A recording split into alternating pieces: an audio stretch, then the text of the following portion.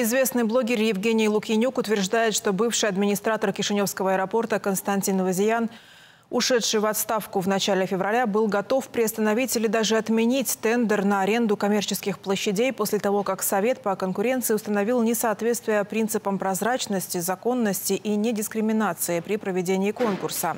Лукьянюк утверждает, что Вазиян знал, что тендер был проведен незаконно и был готов отказаться от него, чтобы не нести никакой ответственности.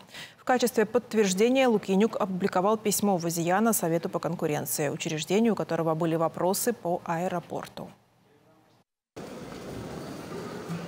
Евгений Лукьянюк опубликовал в телеграм-канале документ, направленный 6 февраля в Совет по конкуренции Константином Вазияном, который в то время занимал должность администратора аэропорта.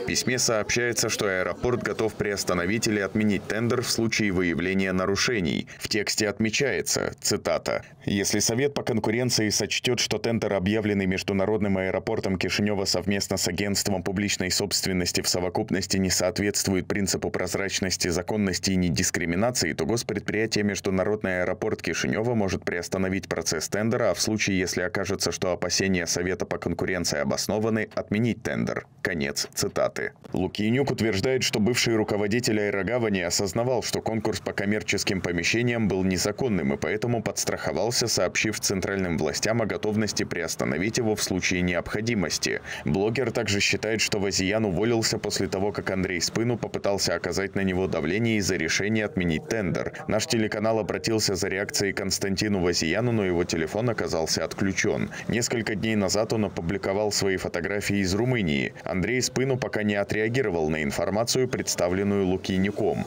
Напомним, что в конце февраля чиновник дал понять, что вина за провал тендера на аренду коммерческих помещений в аэропорту лежит на представителях предприятия, в том числе на Константине Вазияне, который уволился с должности администратора аэропорта. По его словам, ответственность за организацию конкурса лежит на администрации аэрогавани, а представители государства только наблюдали за процессом. Следует отметить, что ранее Совет по конкуренции попросил администрацию аэропорта представить аргументы по условиям для потенциальных участников тендера на коммерческие площади. Обращение было сделано еще 2 февраля с уточнением, что ответ должен быть дан в течение пяти рабочих дней. Учреждение запросило исследование, на основании которого были составлены условия тендера и аргументация технико-экономического обоснования. Недавно активист Влад Белецкий заявил, что тендер в аэропорту проводится на основе технического обоснования, которое никто не утверждал и по которому не выносили заключение. Более того, даже неизвестно, кто авторы условий, прописанных в документе,